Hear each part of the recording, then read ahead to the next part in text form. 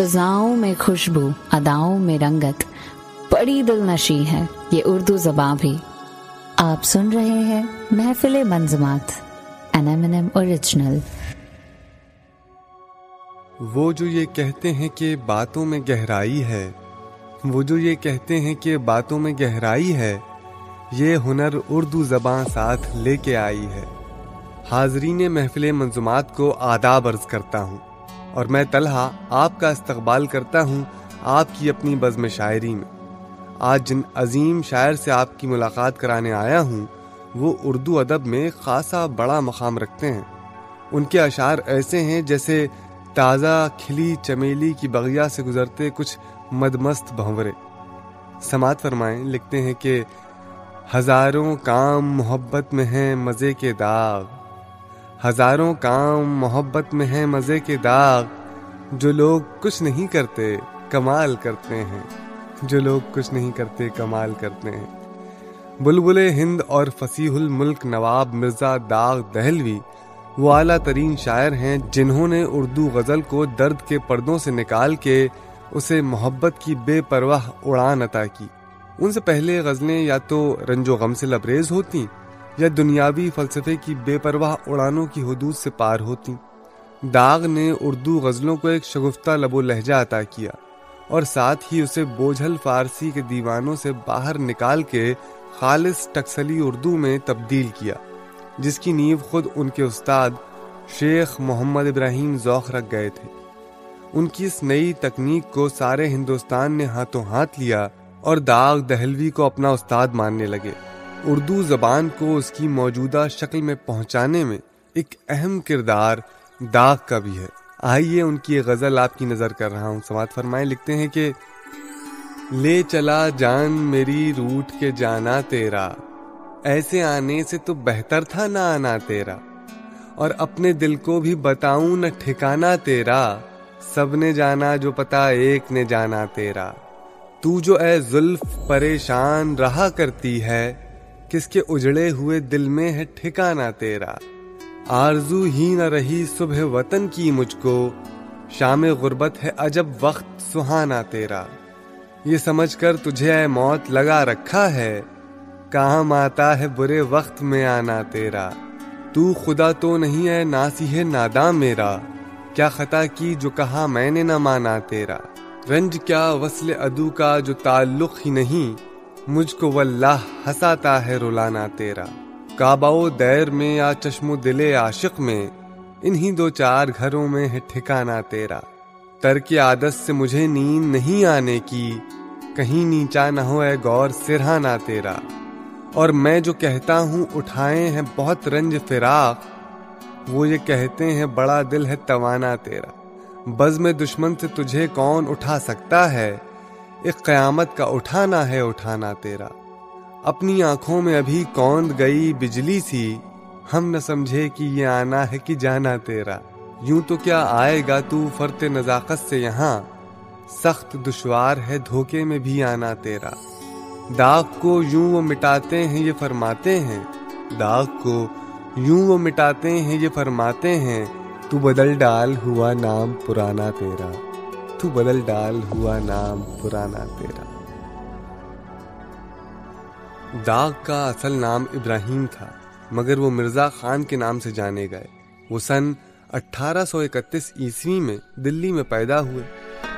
उनके वालिद नवाब शमसुद्दीन वली फिरोजपुर थे, जिन्होंने उनकी वालदा मिर्ज़ा खानम उर्फ़ छोटी बेगम से कभी शादी नहीं की। शमसुद्दीन साहिब को दिल्ली के रेसिडेंट विलियम फेजर के कत्ल की साजिश में शामिल होने के इल्ज़ाम में फांसी दे दी गई। इस वक्त दाग महज चार बरस के थे। उसके बाद जब उनकी उम्र तेरह बरस की हुई तो उनकी वालदा ने उस वक्त के मुगल सल्तनत के वली अहद मिर्ज़ा फर्रुख से शादी कर ली। इस तरह दाग की तालीम और तरबियत किले के माहौल में हुई। उनको उस वक्त की बेहतरीन तालीम दी गई, जो सिर्फ़ शहजादों और अमीरों को दी जाती थी। किले की रंगीन और अदबी माहौल में दाग को शायरी का शौक पैदा हुआ और उन्होंने जौक की शागिर्दी इख्तियार कर ली।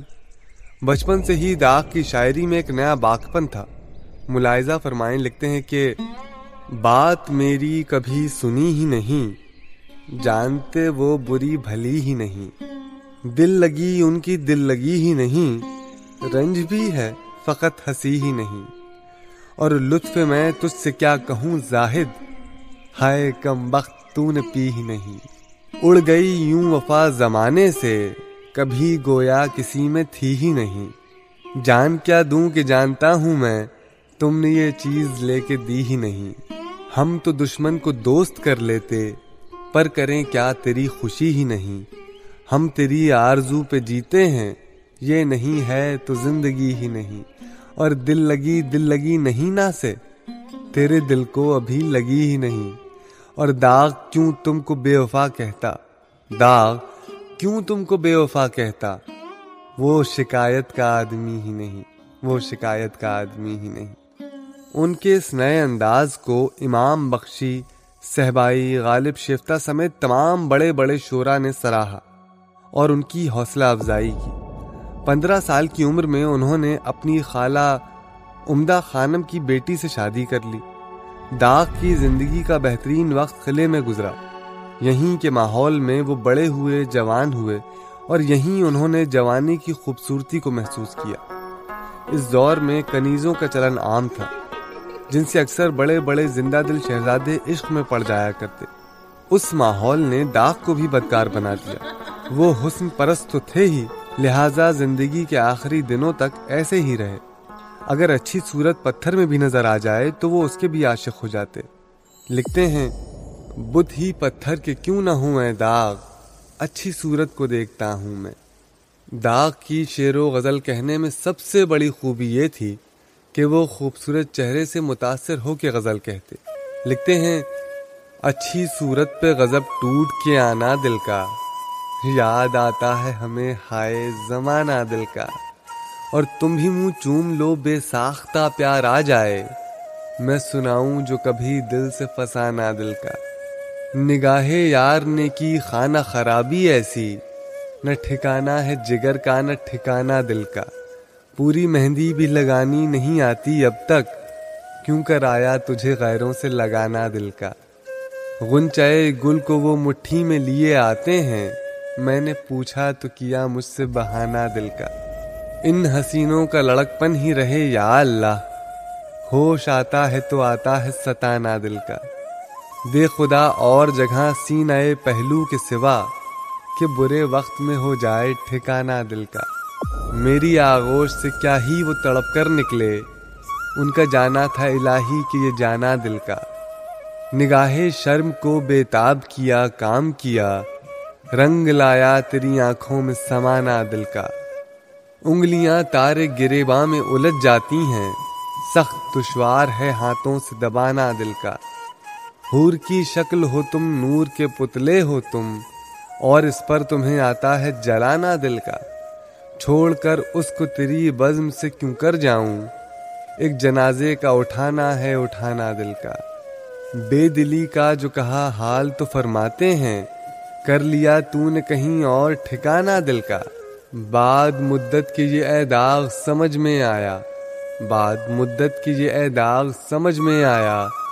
वही दाना है कहा जिसने न माना दिल का। वही दाना है कहा जिसने न माना दिल का। लाल किले में दाग लगभग चौदह साल रहे। सन 1856 ईस्वी में मिर्ज़ा फखरू का इंतकाल हो गया और दाग को वहाँ से बाहर निकलना पड़ा। इसके एक ही साल के बाद अठारह सौ सतावन का गदर हुआ और दाग को दहली छोड़कर रामपुर जाना पड़ा। रामपुर में दाग बहसियत मेहमान नवाब रहे। उस वक्त रामपुर में बड़े बड़े अहलोफन जमा थे और दाग को अपनी पसंद का माहौल मैसर था। नवाब यूसुफ अली खां की मौत के बाद नवाब कल्ब अली खां मसनत शाही हुए। वो दाग की आला सिफती से बखूबी वाकिफ थे। लिहाजा उन्होंने दाग को कारखानाजात फर्श खाना और अस्तबल की दरोगी सौंप कर उनकी तनख्वाह सत्तर रुपए महीना तय कर दी। उसी जमाने में उनकी मुलाकात मुन्नी बाई हिजाब से हुई, जिसके ज़िक्र से दाग का कोई तस्करा खाली नहीं। मुन्नी बाई कलकत्ता की एक बड़ी मशहूर मारूफ रक्कासा थी। हुस्नो जमाल खुश मिजाज और नाजो अंदाज में अपनी मिसाल आप थी। दाग दिलो जान से उन पे फिदा हो गए। इस रखासा को रामपुर के एक सालाना जलसे में जो जश्न की तरह मनाया जाता था, उसमें खास तौर पे बुलाया गया था। और उस वक्त दाग की उम्र इक्यावन साल थी। उनका रिश्ता ज़िंदगी के उतार चढ़ाव से गुजरता हुआ दाग के आखिरी दिनों तक रहा। अभी हमारी मोहब्बत किसी को क्या मालूम? किसी के दिल की हकीकत किसी को क्या मालूम? यकीन तो ये है वो खत का जवाब लिखेंगे, मगर नविश्ता किस्मत किसी को क्या मालूम। बज़ाहिर उनको हयादार लोग समझे हैं, हया में जो है शरारत किसी को क्या मालूम। कदम कदम पे तुम्हारे हमारे दिल की तरह बसी हुई है कयामत किसी को क्या मालूम। और जो सख्त बात सुने दिल तो टूट जाता है। जो सख्त बात सुने दिल तो टूट जाता है इस आईने की नज़ाकत किसी को क्या मालूम। और जनाब दाग के मशरब को हमसे तो पूछो, जनाब दाग के मशरब को हमसे तो पूछो, छुपे हुए हैं ये हज़रत, किसी को क्या मालूम? छुपे हुए हैं ये हज़रत, किसी को क्या मालूम? यहाँ से कुछ अरसे के लिए दाग के सितारे गर्दिश में रहे। नवाब कल्ब अली की मौत के बाद नवाब मुश्ताक अली ने दाग को वो दर्जा ना दिया जिसके वो लायक थे। लिहाजा कुछ अरसे हिंदुस्तान के अलग अलग शहरों में किस्मत आजमाई और ढेर सारे शागिर्द बनाए। आखिर में नवाब मीर अली खान ने हैदराबाद बुला लिया और इस पे बहुत उमदा, बहुत खूबसूरत शेर लिखा है। लिखते हैं कि, दिल्ली से चलो दाग करो सैर दकन की। दिल्ली से चलो दाग करो सैर दकन की, गौहर की हुई कद्र समंदर से निकलकर। गौहर की हुई कद्र समंदर से निकलकर। बतौर उस्ताद, उनका वजीफा 450 रुपए महाना मुकर्र किया गया, जो बाद में एक हज़ार रुपये हो गया। उनको जागीर में गाँव मिला, और नवाब हैदराबाद ने ही उन्हें बुलबुल हिंद जहान उस्ताद दबीरुद्दौला निज़ाम जंग और नवाब फसीहुल मुल्क के खिताब से नवाजा। दाग आखिरी उम्र तक हैदराबाद में ही रहे और यहीं 1905 ईस्वी में उनका इंतकाल हो गया। खबर सुनकर मेरे मरने की वो बोले रकीबों से, खुदा बख्शे बहुत सी खूबियाँ थी मरने वाले में। आम तौर पे इश्किया जज्बात ही दाग की शायरी में दौड़ते नज़र आते हैं, जिन्हें तरह तरह के रंग बदलते देखकर सामाइन भी उछल पड़ते हैं। कभी परेशान हो जाते हैं, कभी उन हालातों को अपने दिल की गहराइयों में तलाश करते हैं और कभी दाग की बेपनाह शोहरत और उनकी शायरी में फलसफा ढूंढते हैं। उनकी जबान आसान और सादा है।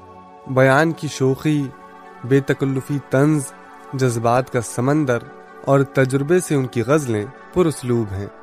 उर्दू की पूरी शायरी में दाग अकेले प्ले बॉय शायर हुए, जिनकी खुशदिली और खुशबाशी ने हमारी शायरी को एक नए जज्बे से रूबरू कराया। दाग की पूरी शायरी एक तरह से रुमानी शायरी है। खुश मिजाज लबो लहजा, और ये मीठी जबान आपकी शायरी की खूबियाँ हैं। एम एन एम टॉकीज दाग के इस बेमिसाल अदबी ताउन के लिए उनका शुक्रिया अदा करता है और उन्हें खराज अकीदत पेश करता है। खातिर से या लिहाज से मैं मान तो गया, झूठी कसम से आपका ईमान तो गया। दिल लेके मुफ़्त कहते हैं कुछ काम का नहीं। उल्टी शिकायतें हुई, एहसान तो गया। डरता हूँ देख कर दिले बे आरज़ू को मैं। सुनसान घर ये क्यों ना हो, मेहमान तो गया। और होशो हवासो ताबो तवा दाग जा चुके। होशो हवासो ताबो तवा दाग जा चुके।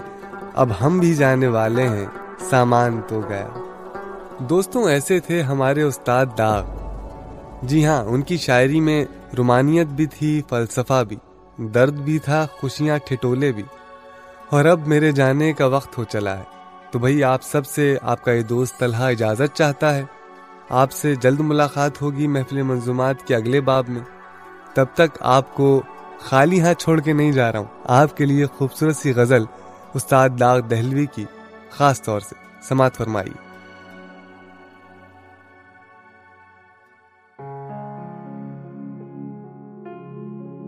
अभी हमारी मोहब्बत किसी को क्या मालूम? किसी के दिल की हकीकत किसी को क्या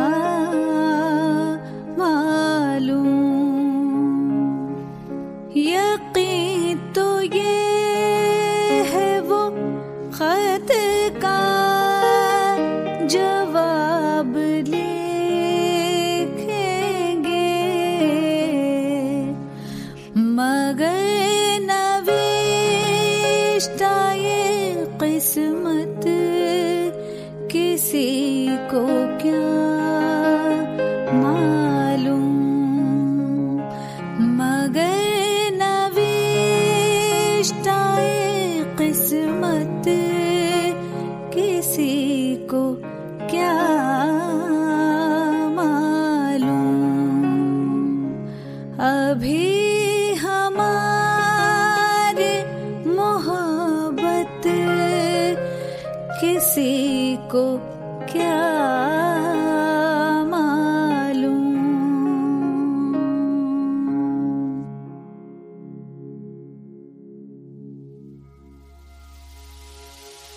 तो कैसी लगी आपको हमारी आज की ये शायराना महफिल?